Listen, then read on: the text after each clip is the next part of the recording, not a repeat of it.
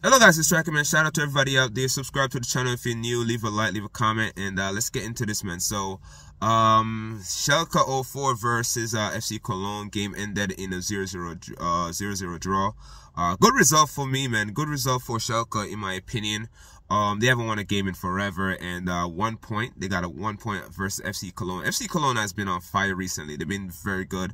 Uh, they drew with um, Bayern Munich last week, and yeah, last game they, they drew with Bayern Munich one one, and they've pretty much been scoring a lot of goals in pretty much all their games, man. So to, to hold them at um at nil nil yo it's a great result in my opinion. Defensively um Schalke did very well. Their defense was solid. Um their midfield was solid. Um the attacking players wasn't that great because they, they couldn't score but they, they was dominant bro. They had more possession Schalke had more possession. Schalke had more shots more shots on target man. So good result for Schalke